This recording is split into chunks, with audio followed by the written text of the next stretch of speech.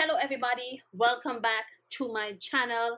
As you guys can guess from the title of this video yes i'm back to tutorials. Yes um the last upload was somewhat more of a little chit chat because um i think i i get this i get that question a lot from a lot of persons and you know it's it's always frustrating to me having to say the same thing over and over and over again. So i was like well why not just create a video and just tell everybody what your reasons for wearing makeup? Because everybody feel like it's like a follow fashion kind of thing. And for me it's not. I, I don't like to follow people. I like to create my own path. You're going that way i'm gonna dig my own path put on my own path put on my own how, however roads are built yeah, all those things, I gonna build my own road. Or if me know how we go, I can just dig up some dirt and walk on the dirt road. And if my my feet get dirty on the way, then I'll just wash them off whenever I reach.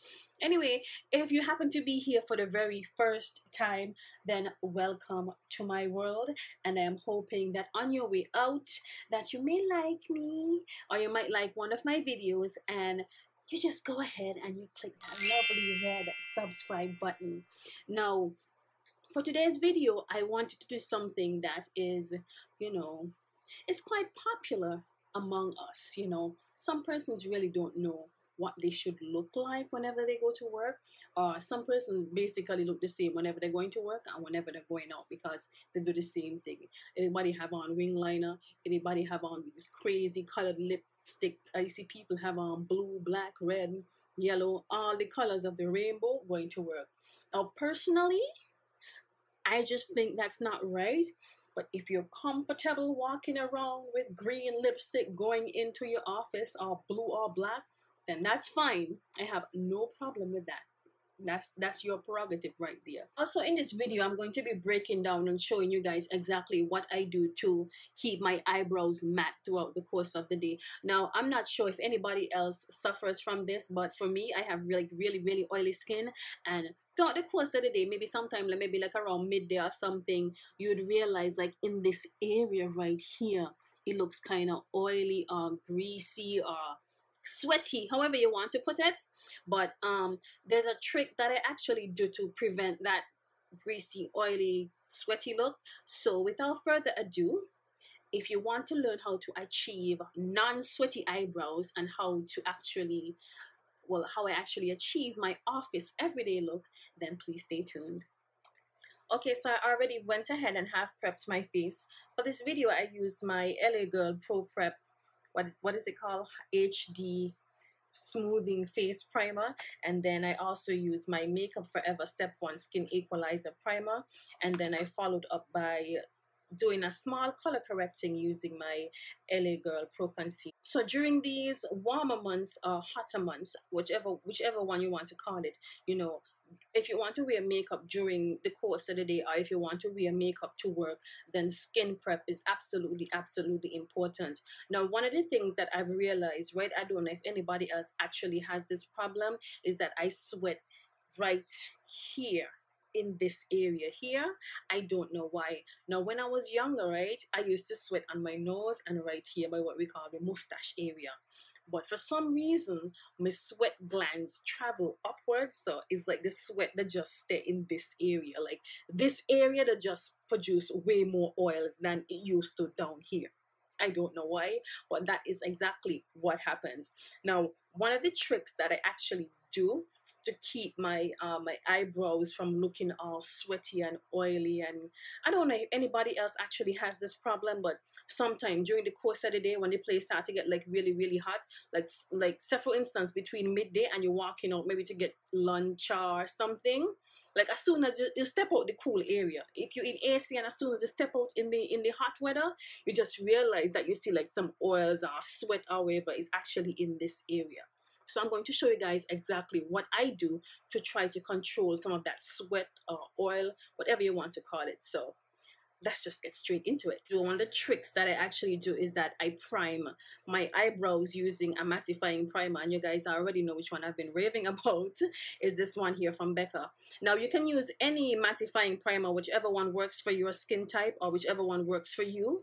Um, but I this one actually works for me. I was just thinking, you know, if I'm going to be using a mattifying a mattifying primer over my face to help control those same oils, then why not just add a small amount to my eyebrow hairs and just see how it works out. And I've tried it for at least a week now and it's been working for me. So I'm just going to show you guys exactly what I do. Now the first thing you're going to do is take a pea size amount of the primer, a pea size just like this and just add it to your eyebrow hairs trust me you do not need any more than this because this stuff is really strong and a little goes a long way.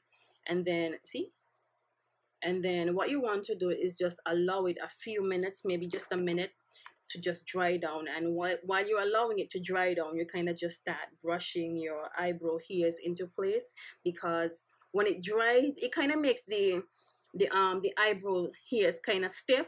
So whatever shape you want your eyebrows to be you kind of try to try to brush it into place real quick before it set. After you've allowed it to sit on your on your eyebrows for maybe like a minute you can always tell when it's completely completely dry. You can actually see some of like some whitey flaky things start appearing. That's when you know it's absolutely absolutely dry. So then you can go ahead and start filling in your eyebrows. Now, another thing that I actually switch up as well during these warmer months is that I switch from a, a pomade to a pencil. Now, some persons might hate me for saying this, but I find that this Anastasia Beverly Hills pomade is just, it kind of too waxy for me. I don't know if it's because I have oily skin, but then to me, it's just producing more oils in the area if y'all understand what I mean. So I feel like a pencil because, well, some pencils, they dry like really, really um, soft and matte that's the type of finish that I want because I don't want my eyebrows to look all greasy and waxy. So I've switched from the Anastasia Beverly Hills pomade to the Anastasia Beverly Hills Brow Wiz, which it just so happens I can't find. You know, y'all know these things that happen when when when you have a child. They're always moving things around. But anyway, um, I I have a second in command. It's this one here from Revlon. It's the uh, oh, what is it? It's a color stay eye pencil. Actually, I love this. I find that it dries absolutely matte and that's the finish that I want. I don't want any waxy looking eyebrows. So I'm just going to go ahead and fill my eyebrows in while the primer is continuing to dry down.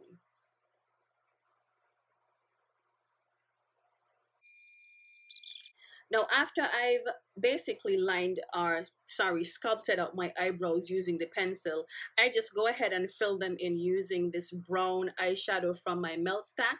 This one is called Rust.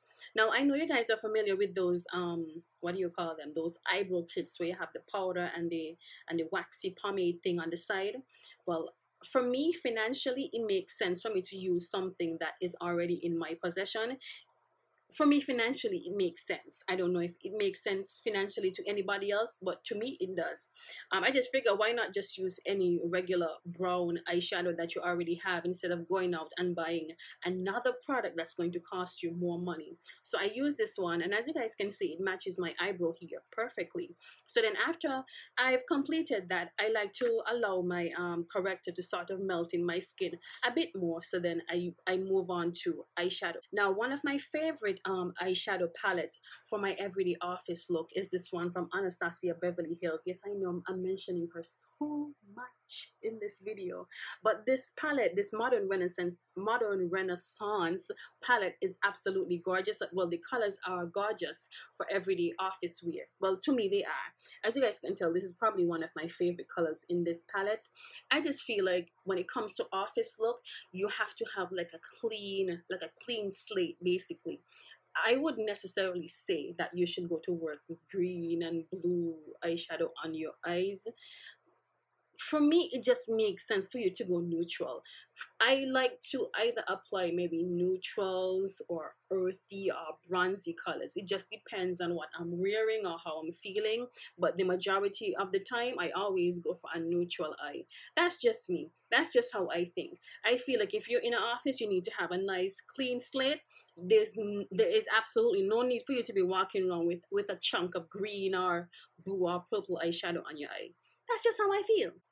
Now, moving on to eyeshadow primers. Whenever I'm applying my eyeshadow, well, just before I apply my eyeshadow, I use both of these. I use the Urban Decay eyeshadow primer potion but I also use the matte prolong wear concealer as well one because this has this is a little bit too runny for me and I want like a semi matte finish and this does that for me I mean this is really really mattifying I mean anybody who's who has used this particular um, concealer know exactly what I'm talking about. So it's like I, I don't want my eyes to be completely, completely wet or completely, completely dry. I want it to meet halfway. So I combine both of these whenever I'm about to apply my eyeshadow for my everyday office look. After I've done that, I like to set my my primer, my, my eyeshadow primer with a little bit of powder. So I go ahead and I open up my handy dandy Sacha Buttercup powder and I just go ahead and set my my eyeshadow primer with some of this.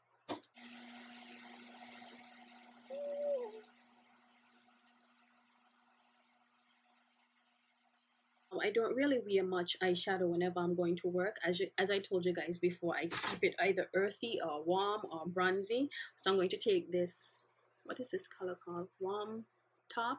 And I'm just going to apply just a small amount to my eyelid area. And then after that I'm going to go into my crease area with my favorite brown color right here Cypress Umber I'm just going to focus on my crease area. I just want to create a bit of definition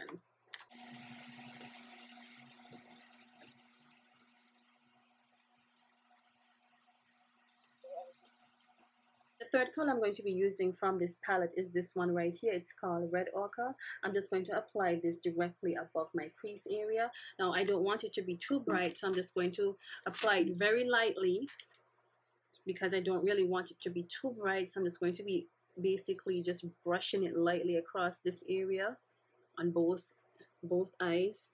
I don't want it to be too bright as I said, but I just want it to create like a small pop of color. Okay, so next I just move on to eyeliner. I think you guys have seen me done this plenty of times. As I said before, I don't really like using regular pencils. I prefer using my gel pot right here. This one from Inglot.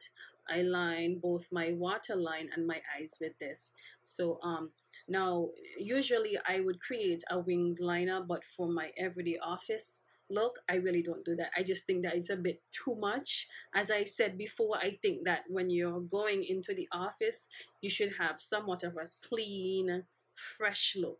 I mean i just think that if you do that every day it, whenever you go out like say for instance maybe it's your birthday or you're going out with your friends or wh- wherever and you, you just tend to do that all the time all the time all the time. Whenever you go out everybody's just gonna be like oh, well, she looks the same. Well, that's just how I feel, eh? I mean, if you want to do your dramatic winged eyeliner every day, then go right ahead. Now, after you've completed lining your eyes with whatever liner you decide to go, if you decide to go dramatic or simple, you can just go ahead and apply your favorite mascara. I'm going to apply this one from Too Faced. It's their Better Than Sex mascara. Now, after I've applied my mascara, this is pretty much okay for me in most cases. But if I do decide I want to pop on a, um, a lash, you never know. I just might feel kind of funky one day and just feel like I want to apply a lash.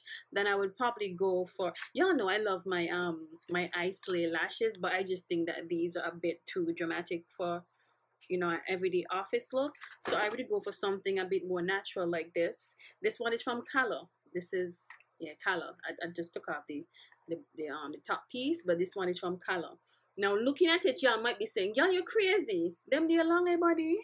Uh, there's absolutely nothing natural about these lashes, but trust me, I tried them on before, and trust me, by the time y'all, by the time I apply these on my on my lashes, y'all gonna be saying, oh, okay, they look so they look so long after all. Just give me, just trust me.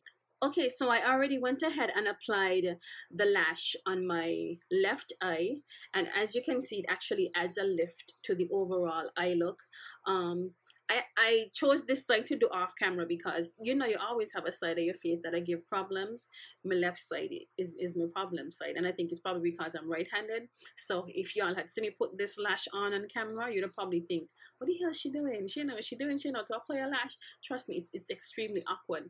But as I was saying, right, um, for me this this would work office wise in terms of lash. I know there are some persons who wear these very dramatic very distracting eyelashes to work and eyeshadow and lipstick but for me as i say i think that whenever you go to work that you should have a nice clean finished look or a nice clean slate. So if i do decide to add lashes then i would go with something like this. Now some persons might think that this is still too dramatic but if you if you think that this is dramatic and you want to try the look that i'm doing right now then you can just go ahead and maybe look for a shorter lash or just use mascara alone. It all depends on you. So i'm just going to go ahead and apply my other lash that does not give me any trouble on my right side. After I've completed my eye look, I like to move on to foundation. And um, well, during the hotter months, I don't really like to apply like a bunch of foundation on my face or too much. Or if I do apply um, foundation, it has to be something that is really, really lightweight and something that won't cause my skin to go crazy because I do have oily skin and my skin is also acne prone. So something is always falling on the ground. Um, my skin is also acne prone, so I would try as much as possible to go really, really light when it comes to um, really light-handed when it comes to foundation during this during this time. So two of my favorite foundations right now are these two. Now just so y'all know, I know this ain't a foundation. For anybody who want to get smacked, I know that. this is the LA Girl Pro Conceal in um, Pro, Pro Conceal Concealer in um, Espresso. And I also like to combine it with this um, Neutrogena Pro, sorry, Nourishing Longwear makeup. This one has SPF 20 in it, which is why I like to combine both of them because this adds a bit of sun protection.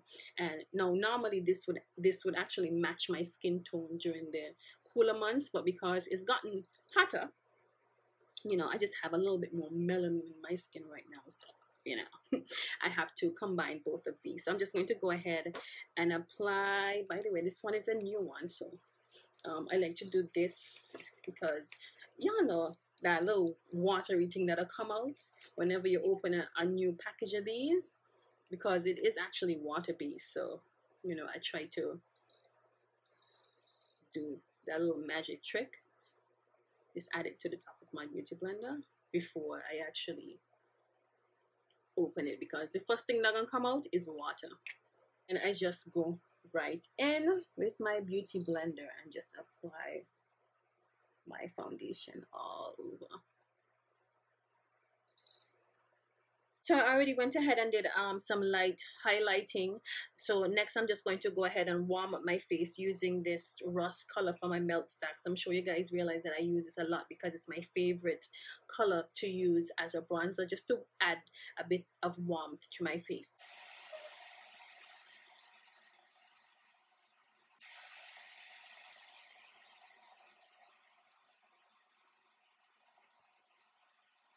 Next, I like to take my Laura Mercier Translucent Loose Setting Powder in medium deep and just apply a small amount of it over my entire face just to use it as a all over face powder. It is translucent so it is really lightweight.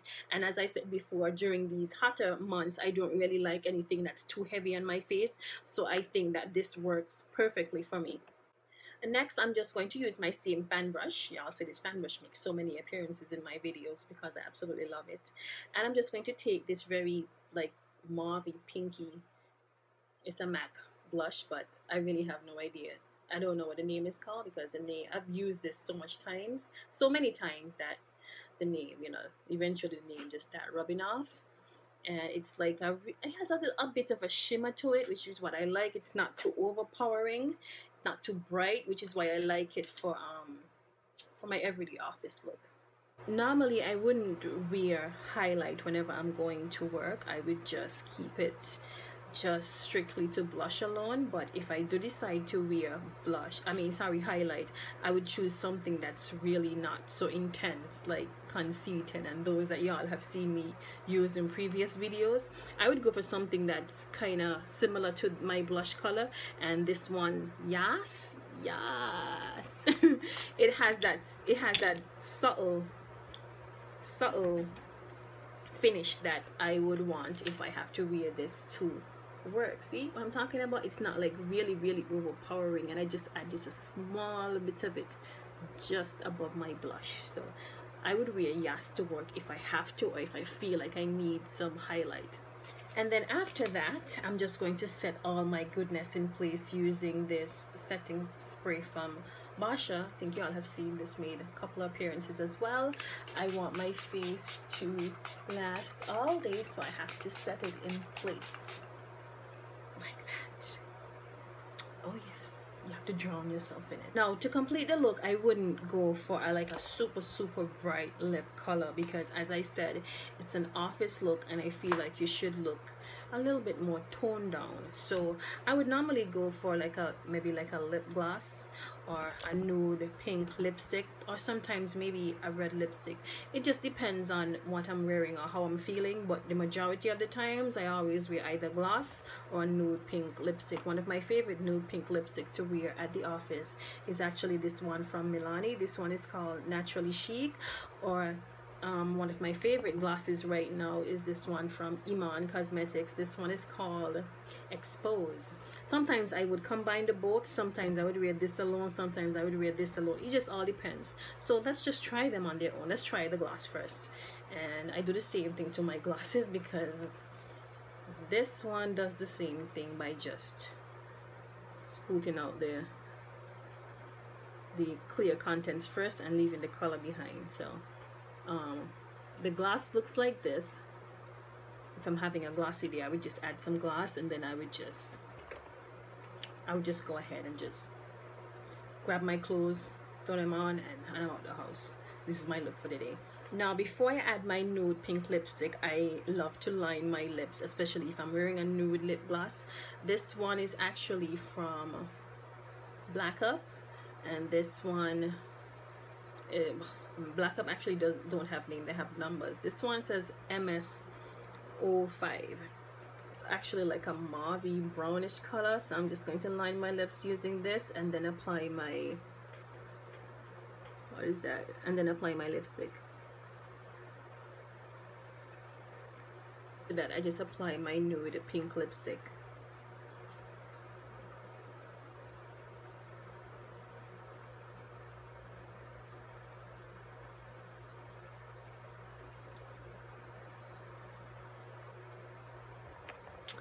voila. And that is it basically for my office friendly makeup tutorial and how I keep my eyebrows matte throughout the course of the day.